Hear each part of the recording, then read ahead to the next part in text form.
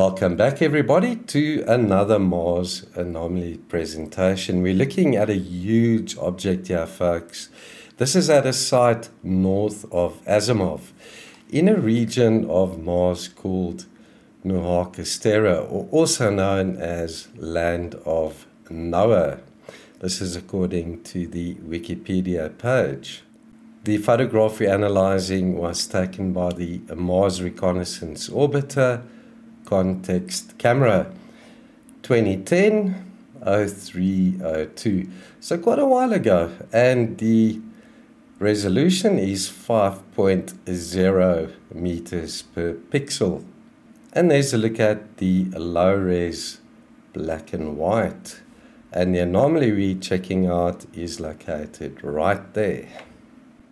So to give you some idea of where the site is located we have Asimov over here to the bottom and then up a bit to the site over there. That is where the strange object is located. It's roughly 45 degrees 1 minute south, 4 degrees 56 minutes east.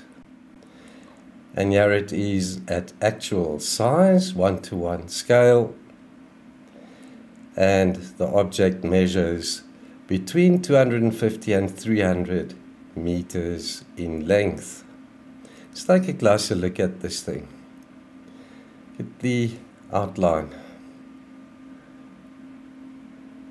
Abrupt 90 degree angle there, and then it's also got this strange part at the bottom right.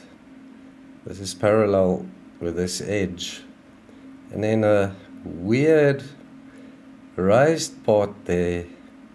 If you draw a line through here, that would roughly be in the center of what I speculate might be an outline of a partially covered sort of tanker or boat, who knows, folks. But that's what it reminds me of. Check out the shape. I don't quite know what to make of this. I've created a gigapan of this anomaly at four times scale. Let's have a look at it. I'll include the link to this gigapan as well so you can go to my site and download it and then check it out for yourselves. There's nothing else like this in the vicinity. Check out the terrain.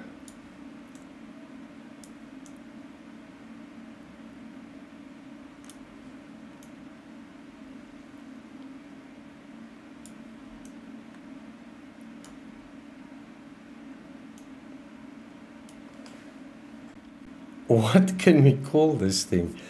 What made it? What process in nature actually produces something like that?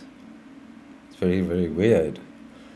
And it's huge. It's like between 250 and 300 meters in length.